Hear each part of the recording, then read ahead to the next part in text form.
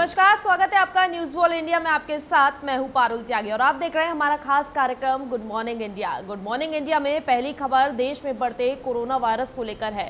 देश में corona virus की रफ्तार बेकाबू हो गई है और नई लहर सबसे बड़ी चुनौती बनकर सामने आई है। देश में पहली बार चौबीस घंटे के अंदर एक लाख से ज़्यादा कोरोना वायरस के केस दर्ज किए गए हैं। ये आंकड़ा राज्यों के द्वारा जारी आंकड़े के मुताबिक है। केंद्रीय स्वास्थ्य मंत्रालय का आंकड़ा आना बाकी है। देश में इससे पहले सोलह सितंबर दो हज़ार बीस को ज़्यादा मामले सामने आए थे। तब एक दिन में 97,000 से ज़्यादा केस दर्ज किए गए थे। कोरोना की इस दूसरी लहर में सबसे ज़्यादा प्रभावित महाराष्ट्र है। महाराष्ट्र में कोरोना के बढ़ते कहर को देखते हुए उद्धव ठाकरे सरकार ने नए और सख्त नियम लागू करने के आदेश दिए हैं। कोरोना के आगे बेबस महाराष्ट्र एक बार फिर लॉकडाउन की राह पर लौट चुका है। महाराष्ट्र में चौबीस घंटे में रिकॉर्ड सत्तावन मामले दर्ज किए गए हैं जबकि 222 लोगों की मौत हो गई है।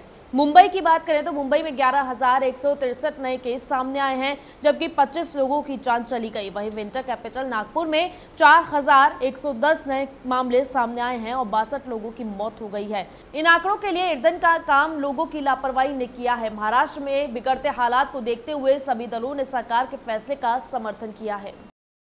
मुख्यमंत्री योगी आदित्यनाथ ने भी कोरोना वैक्सीन लगवा ली है। बता दें, सीएम योगी ने लखनऊ के सिविल अस्पताल पहुंचकर वैक्सीन की पहली डोज लगवाई। वैक्सीन लगवाने के बाद योगी ने कहा कि देश के और दुनिया के लोगों को बचाने के लिए भारत ने दो स्वदेशी वैक्सीन लॉन्च की है। उसमें से मैंने भी वैक्सीन लगवाई है। योगी ने कहा कि देशवासियों को कोरोना वैक्सीन मुफ़्त में उपलब्ध कराने के लिए मैं पीएम मोदी का आभार व्यक्त करता हूँ। इसके अलावा देश के उन सभी वैज्ञानिकों का जिन्होंने समय से दो दो वैक्सीन लॉन्च की हैं, उनका अभिनंदन करता हूँ। बीते एक साल से उन सभी हेल्थ वर्कर्स और कोरोना वॉरियर का भी अभिनंदन करता हूँ, जिन्होंने महामारी के खिलाफ इस लड़ाई में प्रभावी ढंग से मुकाबला किया और मानवता को बचाने के लिए अपनी जान की परवाह नहीं की।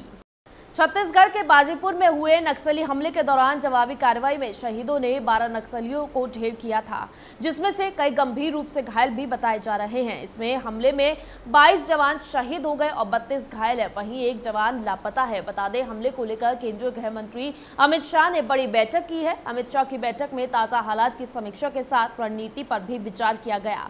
बैठक में आईबी के निदेशक, गृह सचिव, सीआरपीएफ और गृह मंत्रालय के वरिष्ठ अधिकारी शामिल हुए। वहीं अमित शाह ने सीएम भूपेश बघेल से इस मुद्दे पर बातचीत की और केंद्र सरकार की तरफ़ से हर स्तर पर राज्य सरकार को मदद देने का भरोसा दिलाया है।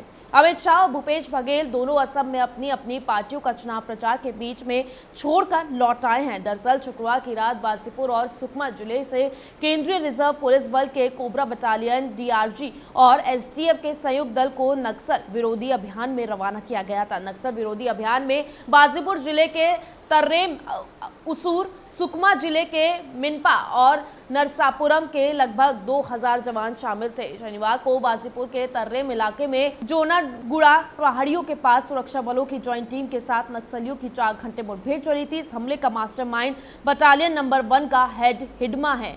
मऊवादियों का ये सबसे बड़ा बटालियन है। नक्सलवादियों ने शहीद जवानों के हथियार और जूते भी लूट लिए थे। गुड मॉर्निंग इंडिया में फ़िलहाल के लिए बस इतना ही, लेकिन देश दुनिया की तमाम खबरों से जुड़े रहने के लिए आप देखते रहिए न्यूज़ वॉल इंडिया